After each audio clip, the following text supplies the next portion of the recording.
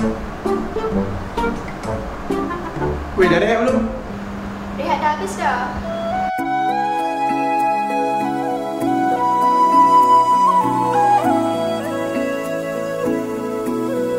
Wei, jom teman kau kita tandas. Ah, jom lah.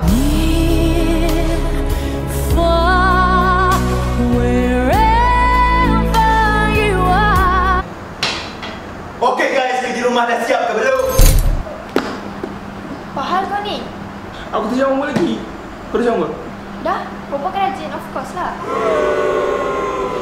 Weh, Zat. Kau dah jawab belum? Nak ada homework ke?